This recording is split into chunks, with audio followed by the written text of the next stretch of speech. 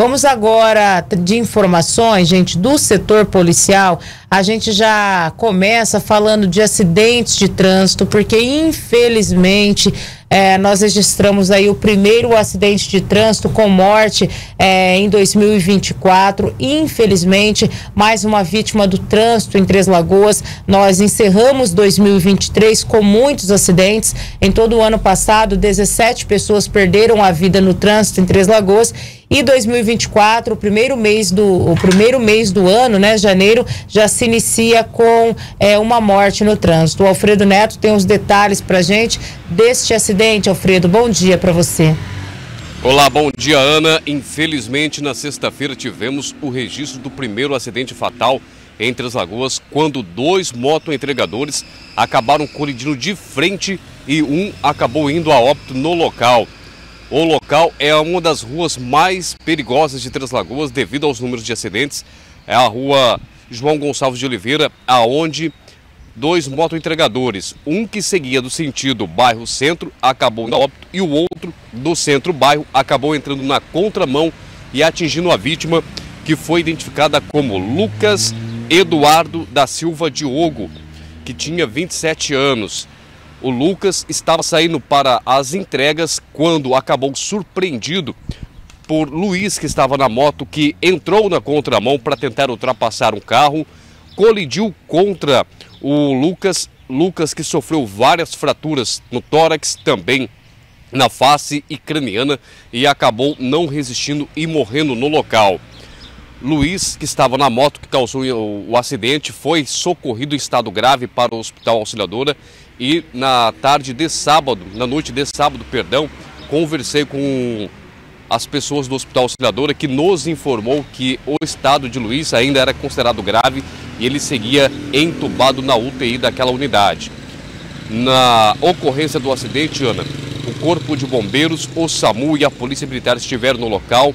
A patroa de Lucas foi a primeira pessoa a chegar e fazer a identificação da vítima e posteriormente irmão e esposa foram até o local acompanhar o trabalho da Polícia Civil e da perícia para o levantamento de dados. O mais chocante, Ana, foi as imagens de circuito interno que registraram o acidente e mostrou a força do impacto a qual tirou a vida de Lucas, que estaria fazendo aí esse trabalho para levar o ganha-pão de cada dia para casa, Ana. O Lucas, no caso, é o que estava indo sentido é, é, centro-bairro, é o que estava, o que invadiu a, a, a, a, sua faixa ou não? É o, é o, outro? Não, é o outro. Luiz que invadiu a contramão. Lucas, que acabou falecendo, estava na mão correta dele, ainda tentou frear a moto para evitar a colisão, mas o Luiz, que estava na contramão, acabou atingindo em cheio a moto que estava Lucas e Lucas acabou morrendo ali gratuitamente, Ana. Nossa, lamentável, Alfredo, né? Ele estava na mão dele, a gente viu. Agora, Alfredo, o que, que teria acontecido com outro motociclista que invadiu ali a pista contrária, provocando este acidente? A gente viu que estava em alta velocidade, né? Mas não, não tinha um carro ali, o carro já tinha passado, né? Ele perdeu o controle. O que, que aconteceu? Porque, porque invadiu tanto assim a, a faixa contrária? Então, Ana, a polícia acredita que Luiz, além da ultrapassagem que ele fez na caminhonete, ele queria entrar na rua Sigefredo Roriz, que fica à esquerda, ali na esquina onde aconteceu o acidente. Já antecipando que iria ultrapassar essa picape e fazer a conversão à esquerda, o Luiz teria colocado a moto na contramão, sido surpreendido pela vítima, o Lucas, que vinha no sentido oposto, na mão correta dele, e aí Luiz tentou jogar para o acostamento já para fazer a conversão à esquerda. Movimento esse que Lucas, para tentar escapar da colisão, também teria feito, jogando a moto para a direita, para o acostamento, para tentar escapar do motoboy que teria invadido a mão contrária. Infelizmente, as duas motos fizeram a mesma manobra de ir para o acostamento, acabaram colidindo de frente e Lucas acabou levando a pior devido os ferimentos ter sido mais graves para ele, Ana. Tá, então o que estava errado, vamos colocar assim, ele está internado no hospital. A situação dele é grave, Alfredo? É grave, está entubado, segue entubado na UTI do Hospital Auxiliadora, com traumatismo craniano e também e fratura no tórax devido ali à colisão que ele teve contra a moto do Lucas. Ambos acabaram sendo atingidos pelas motos e acabaram tendo fratura torácico e também craniano, Ana. Pois é, Alfredo, é o que a gente fala, né? A gente lamenta muito a morte do Lucas, lamenta muito também o estado que o outro motociclista se encontra. A gente aqui não está para culpar ninguém, para falar quem enfim, cabe a gente mostrar que estava certo e errado, mas sem fazer julgamentos. Mas é, é, o que a gente sempre fala, gente, esses motoboy, é, os motociclistas de um modo geral, andam em alta velocidade em Três Lagoas. É muita imprudência que a gente tem visto no trânsito da cidade e de um modo geral, gente, a grande maioria dos motoboys andam em alta velocidade. Basta você é, andar pelas ruas da cidade para você se deparar com esses motociclistas correndo. E dá para saber que são os motoboys porque eles estão com as encomendas, né? Estão com aquela caixa ali atrás nas costas. Então a gente sabe que se trata de entregador. Mas em alta velocidade, alguns, inclusive eu já presenciei inúmeras vezes, eles passam até no sinal vermelho, com o semáforo ali fechado, eles passam é, no semáforo é, fechado colocando em risco não só a vida deles, mas a vida de outras pessoas. Não é a primeira vez que a gente tem acidente de trânsito envolvendo é, moto entregadores. Infelizmente, outros acidentes já foram registrados tudo isso por conta de imprudência, excesso de velocidade, por não respeitar a legislação de trânsito. Fico alerta, gente, é muito perigo. A gente viu aí uma homenagem, né, que os motoboys fizeram é, para é, o Lucas, né? É, infelizmente, a gente sabe que a vida não volta, mas que fico alerta para esses moto entregadores Gente, é muito acidente, tem muitos moto entregadores na cidade, principalmente no período da noite. É, alguns abusam da velocidade. Difícil, hein, Alfredo? É muito difícil, Ana. Inclusive, no momento em que a Polícia Militar e o SAMU estavam no local, muitos outros motoentregadores, outros pararam para prestar uma homenagem, acompanhar o trabalho que estava acontecendo ali, dar apoio para os familiares, mas outros não respeitavam o local, passavam, olhavam e seguiam em alta velocidade e foi necessário a polícia ter que bloquear a via, parte da via, para que tanto motociclistas como motoristas de carro reduzissem a velocidade por conta do risco.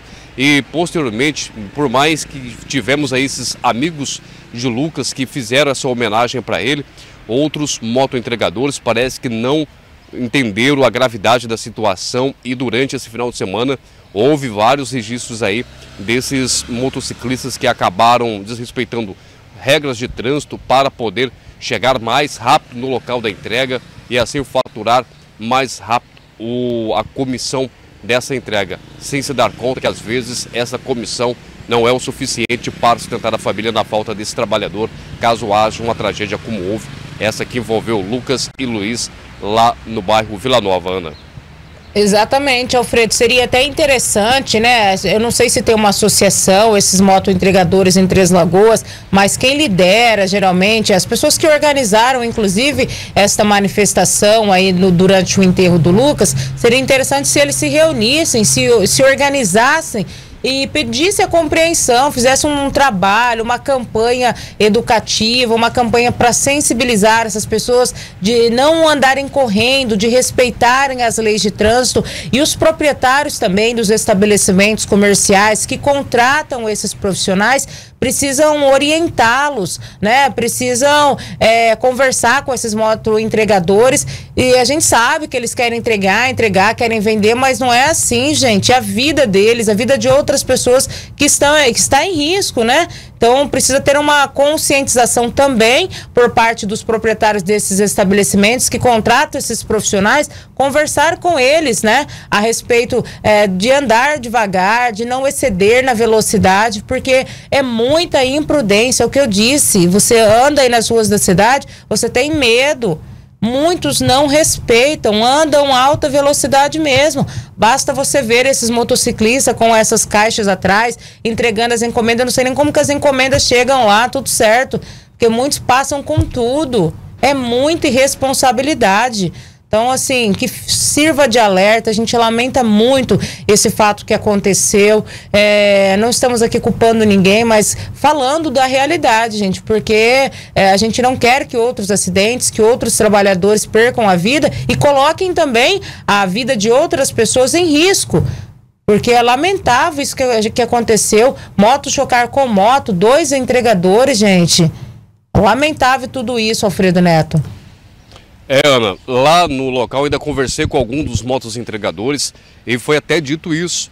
Será necessário eles fazerem uma organização, um grupo de conversa entre eles para se organizar, trazer para ele algum tipo de garantias para ambos também terem aí o seu serviço resguardado, porque muitos utilizam a frase de que correm no trânsito para entregar o mais rápido possível porque os clientes reclamam e xingam.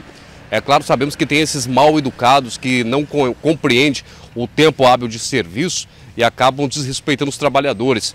Mas a vida em primeiro lugar, a vida deles, a satisfação do cliente em ter o produto o mais rápido que ele acha que deveria sair, deve ficar em segundo plano. O cliente que acha que o produto tem que chegar antes do necessário, tem que levantar de casa e ir lá e buscar o produto. Agora, o moto entregador, o trabalhador que está ali só ganhando a comissão, tem que ter um pouco também aí dessa organização entre eles e consciência, porque no caso desse, quem sofre é a família, o trabalhador que ganha ali na base da comissão não vai ter os direitos resguardados, a família vai ficar desamparada, não vai ter indenização, não vai ter o que retirar aí para poder aguentar esses dias que irão prosseguir, que são os piores, que é a falta do familiar aonde a ficha começa a cair, que ele não vai voltar mais para casa.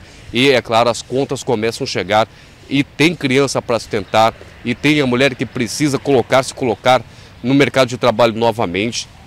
Então é necessário que eles possam se organizar e eles também cobrar daqueles colegas que não respeitam as normas de trânsito, como tem alguns que até empinam as motos nas vias públicas, cobrar deles é, um pouco mais de responsabilidade, porque geralmente esses acabam sujando toda a categoria, que acabam ficando mal vistos na sociedade e acabam levando a fama ruim por conta de poucos que acabam não respeitando as regras de trânsito e não respeitando aí o trabalho dos colegas que tentam levar a sério e fazer o trabalho bem feito como deve ser feito, Ana.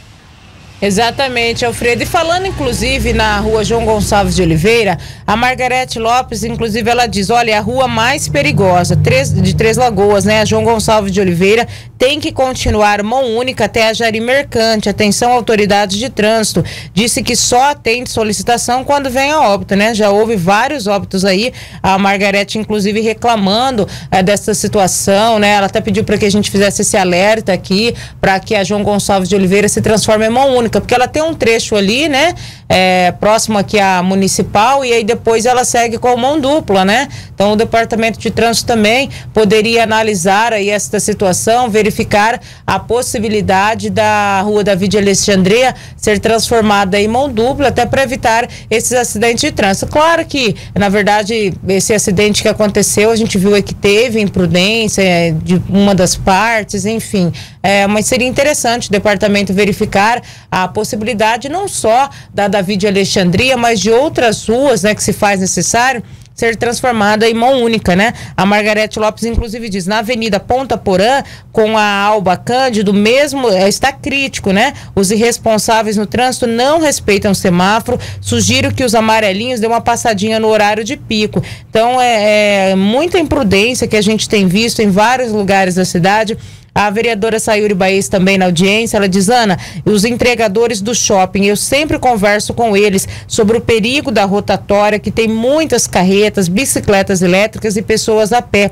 Ali é um perigo constante, exatamente. É muito complicado, tem alguns pontos muito críticos, é importante realmente é, os proprietários, né, os donos desses estabelecimentos conversarem aí é, com esses motoentregadores. O Roberto Alves da Cruz, ele diz, olha, tem alguma algum que passa em alta velocidade, eh, empinando a moto. Ele está confirmando o que a gente está dizendo. A Valdenice Alves, verdade, alta velocidade, gente. Então, assim, todo cuidado é pouco, né? Vamos respeitar as leis de trânsito. A gente lamenta esse fato, esse moto entregador que acabou morrendo após colidir com outro motociclista aqui em Três Lagoas na noite do último sábado e que sirva de exemplo, né, para que outras pessoas não façam o mesmo, para que a gente evite mais acidentes de trânsito. Alfredo, 6h53, Alfredo, a gente fala agora de uma tentativa de homicídio, Alfredo Neto. Onde foi registrada essa tentativa de homicídio?